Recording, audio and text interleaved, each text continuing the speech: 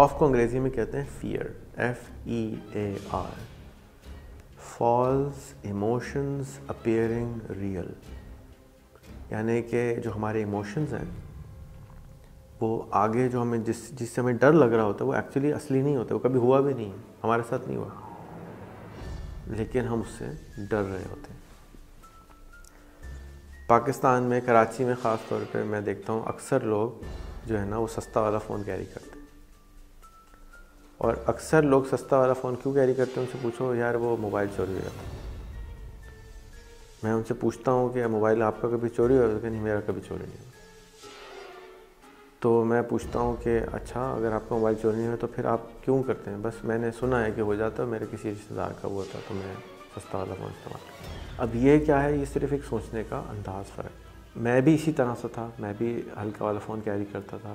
میرے ساتھ دو دفعہ فون چوری ہوا۔ پھر میں نے حساب لگ اس طرح سے سوچنا شروع کیا کہ اچھا اگر میرا فون چلا جاتا ہے تو میں ایسا کیوں نہ کروں کہ میں اتنے پیسے کمانا شروع کر دوں کہ اگر کوئی فون چلا بھی جاتا ہے تو مجھے تکلیف نہ ہو۔ تو یہ سوچ جو ہے، ہمیں خوف جو ہے، وہ ڈراتا ہے اس جگہ جانے سے جہاں پہ ہم جانا چاہتے ہیں۔ ہم ہر انسان سکسیزفل بننا چاہتے ہیں، لیکن وہ خوف زدہ ہوتا ہے ان چیزوں سے جو اس نے بچپن سے ابھی تک سیکھی ہوتی ہیں، دوسروں سے کہ میں اگر یہ کروں گا تو یہ ہو جائے گا، پھر یہ ہو جائے گا، پھر یہ ہو جائے گا، تو میں کرتا ہی نہیں۔ جو آدمی ایک کروڑ کی گاڑی چلا رہا ہے، وہ بھی تو کسی طرح سے وہاں پہنچا ہی ہے۔ اس نے تو بھی کچھ ایسا کام کیا ہوگا کہ وہاں پہنچ سارے تو جھوٹے مکار نہیں رہتے دنیا میں۔ پاکستان میں اگر آپ کو شک ہے تو چلیں پاکستان سے باہر لے لیں۔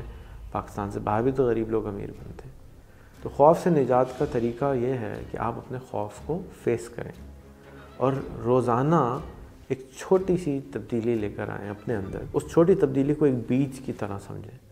اور اس چھوٹی تبدیلی کو بیج کی طرح سمجھنے کے بعد آگے لے کے جب جائیں گے تو وہ آہستہ آہستہ وہ بڑی تبدیلی میں کنورٹ ہو جائیں گے۔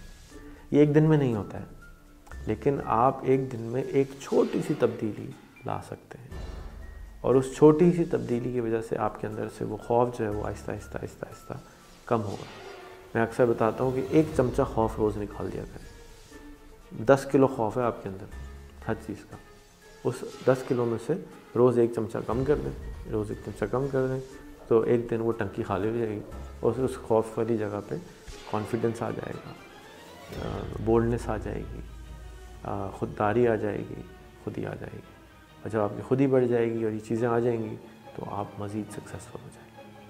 تو اپنے خوف سے روزانہ خوف کھانا شروع کیجیے لڑائی شروع کیجیے اور آہستہ آہستہ آپ اس بت کو جو خوف کا بت آپ کے اندر ہے، اس کو توڑنے میں کامیاب ہوں